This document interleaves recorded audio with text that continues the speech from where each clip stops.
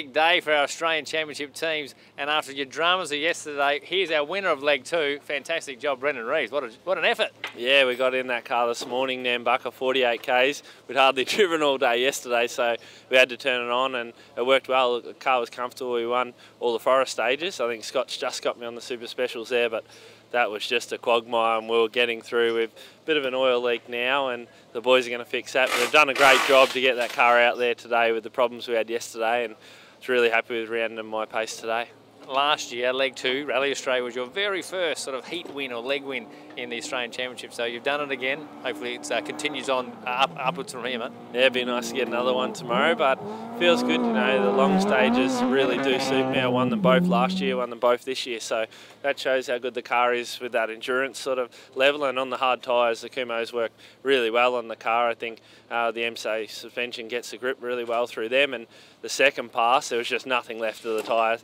and we are really happy with that. It was really even wear, and it just shows we're getting everything out of it. Brendo's going well. He's um, he drove very well today, so uh, you know he's, he's still a chance. We need to push on and, and, try and find that extra extra stage win just for the extra point, and maybe put some pressure on him tomorrow, and just you know continue to drive the same pace we have. And that's uh, obviously the overall in mind, but you want to try and get, clinch some heat points as well something about WRCs that just make it so hard. I don't know it's them in front, and I've been in your position as well, but the days are long, it's tough. You'll be getting up early tomorrow. It's a, it is really a big test and a big endurance event, isn't it? Yeah, well, I mean, it is endurance event, and it really is uh, that word. You know, it's uh, it's long days, it's a long week.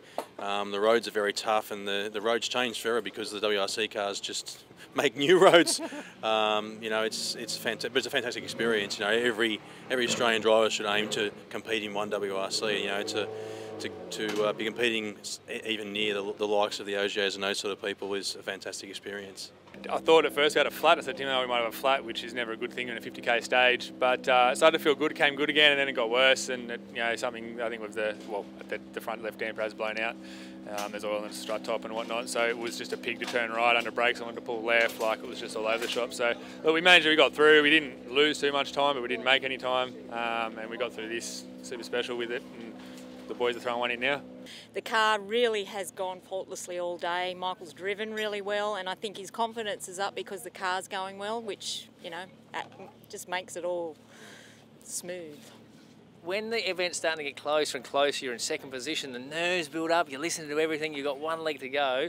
Every, your teams work so hard, everyone's hanging off this result, aren't they? Absolutely. Look, we haven't had a great 12 months, so to if we can get on the podium tomorrow afternoon, we'll be ecstatic. It'll be really, really good. So fingers yeah. crossed.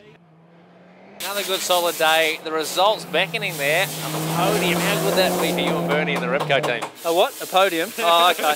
Uh, look, mates, um, look, that'll be fantastic, but uh, we've got a long way to go at this point in time, so we'll just concentrate on getting the car ready again tonight and duck out there tomorrow. Got caught this morning, uh, yeah, sort of not doing what we normally do and, and, sort of waiting to see what happens and all that sort of stuff. So tomorrow we're going to go back out and get back onto our plan, which is you know what we did in the afternoon loop, and it all worked for us again as per usual. So it was good. Absolutely right. You've got to keep the concentration up. But come on, somewhere inside there, you'll be a little bit excited. Come on. Getting there, mate. Good Getting man, there. There's a few. There's I'm a few hours of sleep first, and then there's a, about six or seven hours of driving. But uh, we're getting there. Saw you at the end of the long one. You had the off on the bridge. You lost some time there, and of course in the super stage, I spoke to you at the end of that. You lost the wheel. No idea why. Running around on three wheels. Yep, exactly. I think they're probably related because it was that that wheel that was hooked up on the bridge somewhere along the line it's probably bent something. Really lucky in, in, that respect that it didn't happen on the stage before or the first stage tomorrow when we were at, you know, warp seven trying to make up time. So, you know, at least we're close to service. You've got to be optimistic. Yeah, absolutely. The other thing is, the boys are frantic because unlike our normal Super Series rules, you'd have two hour service. This is WRC, you've got 45 minutes only, yeah. so the boys run to the pump. Oh, no, exactly. And there's a lot to do because there's a lot of, you know, end of day stuff, oil changes and things that normally have to be done anyway and then you've got all this extra stuff to throw at it. And you know, I've managed to knock a few bumper bars here and there, which take time. They don't look pretty, but they take time to do. So we'll get onto it.